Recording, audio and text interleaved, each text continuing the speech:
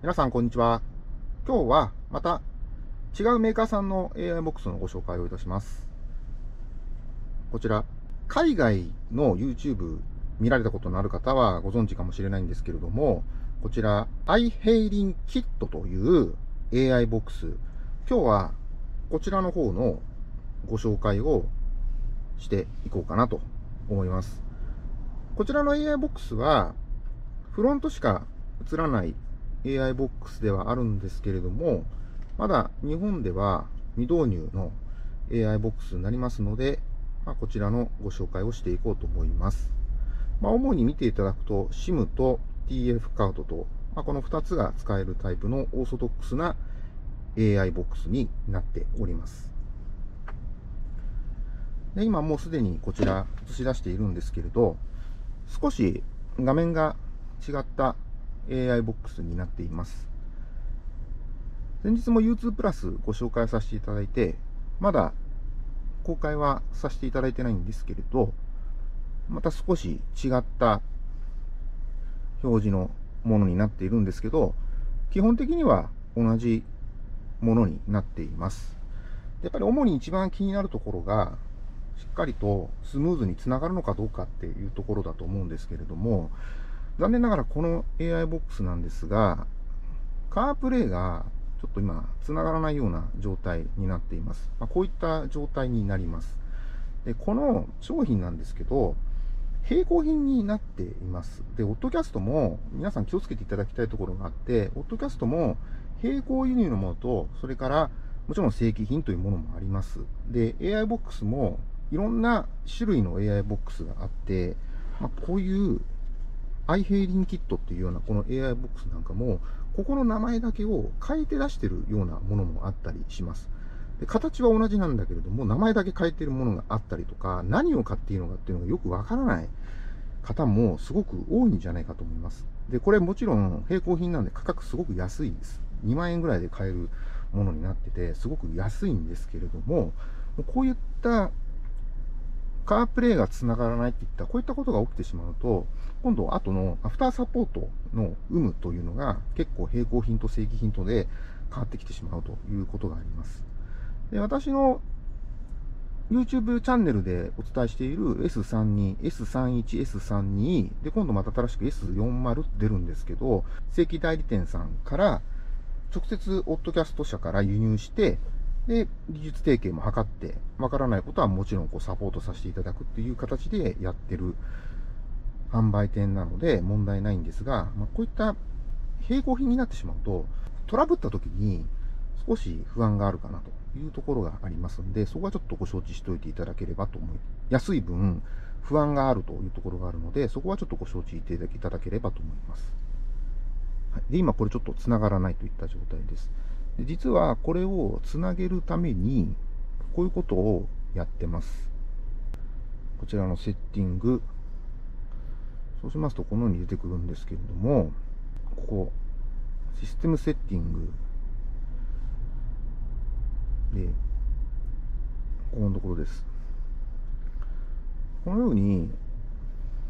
ファームウェアをアップロードして、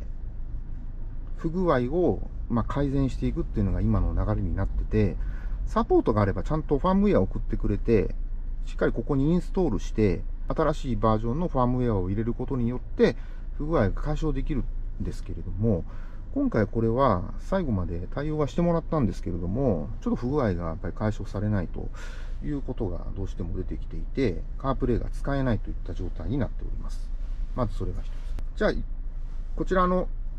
Wi-Fi 使えんのっていうとこなんですけれども、Wi-Fi はこちらちゃんと使えますんで、そこはお見せしていこうと思うんですけれども、もう一回わからない方もいらっしゃると思うんで、このようにテザリングっていうのがあります。インターネット共用でここにテザリング画面があるんです。この画面を開いた上で Wi-Fi につなげるっていう操作をしないといけないけません。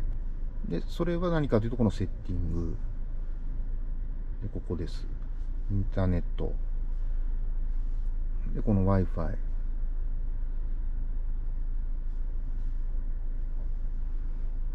で、そうすると、コネクティとつながるようになります。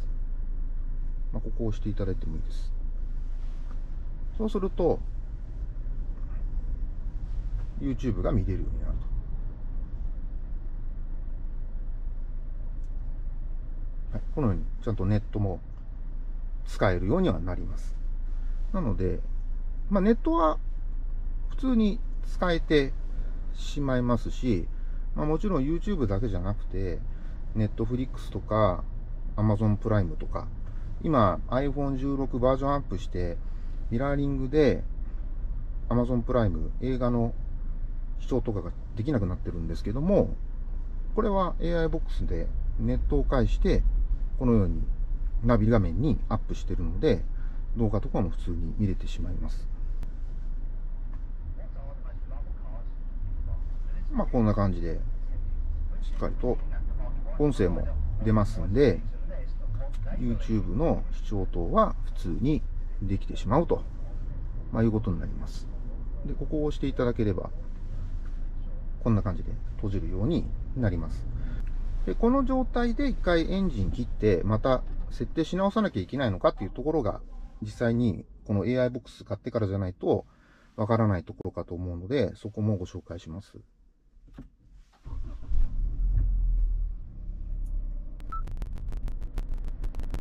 何回もナビを立ち上げるたびに ETC カードが挿入されていません。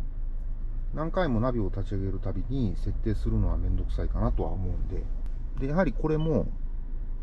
オーディオ選択。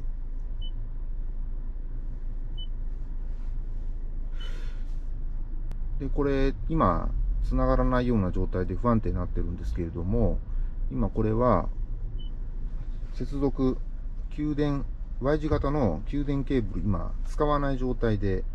やってるんですけど、そうしますとこういった形でしっかりとすぐに起動しないといった状態、起動まで待たなきゃいけないといった、まあ、こういった状態が続く。この i ヘイリンキットの場合ですと、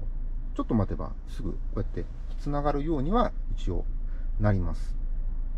特にこの Y 字の給電ケーブルを使わなくても、このような形で少し待てば繋がるようになります。で、この状態で今度、じゃあ Wi-Fi 自動的にちゃんと繋がるのかどうか、また設定し直さなければならないのかどうかっていうところが使い勝手に左右されてくるところだと思うんですけれど、ちゃんと Wi-Fi で落とした場合だと Wi-Fi ではつながるということにはなってるんで、特にここのスマホの設定、動画を見るときに、煩わしい設定をする必要というのはないということになります。はい、こんな感じで。特に何もスマホをいらわずとも、パッと開くようにはなります。でこれ、SIM カード使うと、より一層、この開くときの手間が省けるので、テザリングよりはやはり SIM カードの方が使いやすいかなとは思います。で最後にこの i イヘイリンキットのいいなって思ったところをお伝えしようと思います。いろんな UI ボックスを今回見てきたんですけど、こういったアプリって AI ボックスによって結構入ってるものが違います。で、これは、イコライザーがついています。で、音楽聴くときなんかですと、こういったエコライザーがあると結構いいなっていうのが私個人的には思っていて、なかなかオーディオにエコライザーとか、この AI ボックス自体にエコライザーがついているものって少ないと思うんです。で、これ、クラシカルって書いてあるんですけど、このように結構選べるようになってますんで、この好きな自分の音、好みに合わせて、まあ、エコライザー使うのもいいですし、自分で周波数帯を合わせていくのもいいし、このようにバスブースト、ラウドネス、ビジュアライザー、まあ、こういった形で音の調整ができるんで、音楽を聴くときなんかはこういったエコライザーのアプリなんかがあるとすごくいいなということで、このアイヘイリンキットはそれがついていますんで、そこがすごくいいなって思ったところです。他のオットキャストそれがついてない。まあ、もしかしたらこれダウンロードできるのかもしれないんですけれど、まあ、そこがこのデフォルトの状態ではすごくいいなと思ったところになります。やっぱり並行品は特にそうですけど、やっぱ安い分、非常につながる場合ももちろんあるんですけど、つながらないという場合もあったりするので、結構作動が不安定かなというところがあるのかなと思います。ただ、つながってしまえば YouTube 見れますし、まあ、今回私の場合は前後しますが、カープレイが使えないと、まあ、いった、まあ、状況、今コネクトってなってるんですけど、カープレイ繋がらないといった、まあ、そういった状況もあったりするんで、並行品の場合ですと、サポートしてもらうと、不具合があった時に、サポートが少しできづらいといった場合もあったり、できないというわけじゃないんですけど、できる場合とできない場合とあったりするんで、まあ、そういったリスクがあると、ま、いう前提で、まあ、こちらを検討していただけるといいのではないかなと思います。一番いいのは、ポッドキャストの正規品、国内の正規品を購入されるのが一番確実なんではないかなということも、まあ、今回このアイヘイリンキットを使わせていただいて感じたところになります。はい。ということで今回はこちらのアイヘイリンキットの AI ボックス、こちらを使って、こちらの新型のボクシのディスプレイオーディオの作動確認の紹介をさせていただきました。当チャンネルでは、こういった AI ボックス、オッドキャストをはじめとした AI ボックス等の車のガジェットの紹介、グリーンファンディングや幕開け等で出てくるような、まだ売られていない最新のガジェット等も扱っておりますので、ぜひ興味のある方はチャンネル登録の方よろしくお願いをいたします。それでは失礼をいたします。